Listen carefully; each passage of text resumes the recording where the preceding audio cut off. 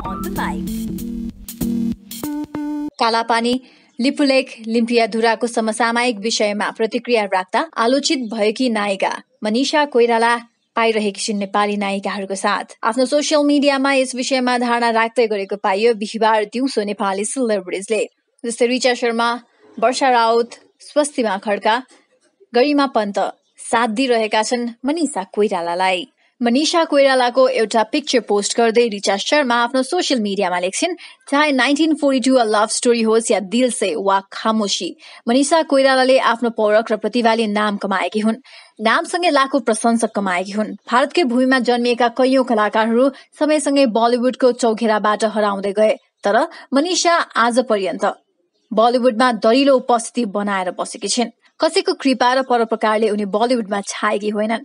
प्रियङ्का चोपडाले अचेल हलिउडमा राम्रो स्थान बनाएकी छन् तर यसो भन्दैमा उनले आफ्नो मातृभूमि भारतलाई बिर्सिएकी छैनन्। समय समयमा मातृभूमिलाई धन्यवाद दिइरहने प्रियङ्कालाई भारतले आफ्नो गहना भनेर स्वीकार्छ। सानिया मिर्जाले खुलेर आफ्नो मुलुकको प्रशंसा गरिरहन्छन्। पाकिस्तानी मिडियाले उनलाई कहिले विदेशी दलाल भनेर थुत्कार्दैन। म चाहे बिसौँ वर्ष कुनै संस्थामा काम गरौँ त्यसका हाकिम मेरा लागि सधैँ हाकिम हुन्। माता वा पिता होइनन्। तर म भारतीय मिडियालाई दोष दिन। मैले कहिल्यै उनीहरूबाट यस्तो दुई पैसे नौटङ्की भन्दा बढी आशा गरेकै छैन। उनीहरू समाचार होइन खोक्रो राष्ट्रवाद बेच्छन् तटस्थ विचार होइन समाजलाई भड्काउने नारा बेच्छन्। यसरी रिचा मनिषा कोइरालालाई समर्थन गर्दै भारतीय मिडियामाथि खनिएकी छिन्। यसैबीच स्वस्तिमा खड्का पनि इन्डियन मिडियाले गरेको आपत्तिजनक प्रतिक्रियाप्रति आक्रोश व्यक्त गर्दै मनिषा कोइरालालाई साथ दिइरहेकी छिन्।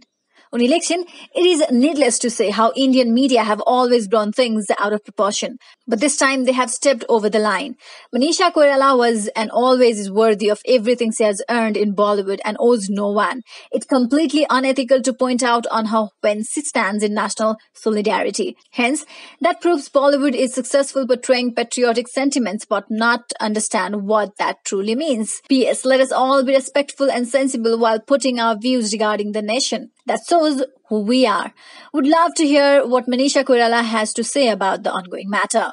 उनले हिन्दी सिनेमामा देखाइने मातृभावना सिनेमामा देखाउन मात्र सफल भएको र ट्रु सेन्समा नबुझेको प्रतिक्रिया दिएकी छिन् उनी थप्छिन् देशको विषयमा कुरा गर्दा सबैजना सेन्सिबल हुनुपर्छ त्यसबाटै हामी को हौ यो थाहा लाग्छ र उनी आगामी दिनमा मनिषा कोइरालाबाट यस विषयमा सुन्न चाहन्छन् त्यसै गरी वर्षा राउत लेख्छिन् पसिना बेच्न सकिन्छ आमा होइन। मनिषा कोइराला दिदीले आफ्नो आमामाथि हस्तक्षेप सहनु भएन। त्यसैले उहाँले आफ्नो अपमानसँग नडराई मातृभूमिको सम्मानमा उभिनुभयो। आज भारतीय मिडियाले उहाँमाथि गरेको आक्रमण र अपमानको हामी सम्पूर्ण नेपाली चलचित्र कर्मीले विरोध गर्न जरुरी छ र मनिषा दिदीको स्वाभिमानलाई अझ मजबुत बनाउन साथ दिन जरुरी छ। हाम्रो मातृभूमि र हाम्रो स्वाभिमानप्रतिको हस्तक्षेप कदापि स्वीकार्य छैन। र अभिनेत्री गरिमा पन्त लेख्छिन् मनिषाले भारतको केही खाएकी छैनन् आफ्नो परिश्रमको ज्याला खाएकी हुन्। उनले लिएको भन्दा हजार गुणा बढी हिन्दुस्तानलाई दिएकी छन्। उनले आफ्नो मातृभूमिलाई माया गर्दा इन्डियन मिडिया बौलाहा भएको छ। मनिषा प्रतिको टिप्पणी फर्चना लायक छ। Hash I am with Manisha Koirala.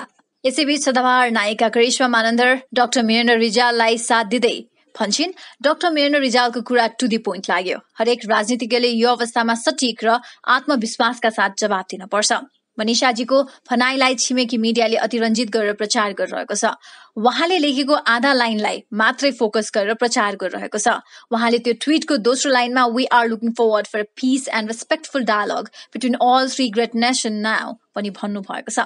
विश्वका जतिसुकै ठुला विवादको अन्त्य हुन अन्ततगत वार्ता नै त्यसको माध्यम भएको इतिहास छ। यहाँनिर अप्ठ्यारो भएको छिमेकीको हेपाहा प्रविधिले गर्दा हुन सक्छ एउटा अर्को कुरा नक्सा त जारी गरियो। हामी सम्पूर्ण नेपाली खुसी छौँ। तर यसलाई संविधान संशोधन गरी हाम्रो संविधानभित्र नक्सा पार्न ढिला गर्नु हुँदैन। संविधानमा त पुरानो नक्सा अनुसार छ। हामी एक ढिक्का भएमा वार्तामा नआए दोस्रो उपाय अप्नाउन उनीहरूलाई पनि गाह्रै पर्ला। यसरी मनिषामाथि भारतीय मिडियाको बढ्दो आलोचना देखेर नेपालीहरू उनको समर्थनमा अगाडि आएका छन्। आफ्नो सोसियल मिडिया मार्फत यस विषयमा आफ्नो धारणा व्यक्त गर्दै टु थाउजन्ड एटिन कि मिस नेपाल श्रृङ्खला खतिवटा लेख्छिन्। Hash I am with Manisha Koirala. To all the Indian media bashing her for speaking up for Nepal, grow up. It's nonsensical to believe she owes you for making a career in Bollywood. She made her mark with her talent. Audience loved her for her performances.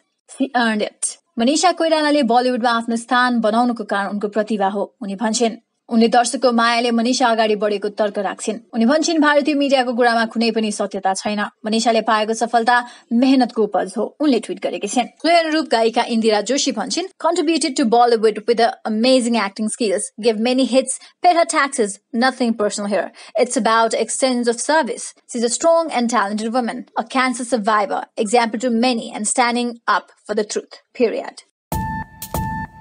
On the mic.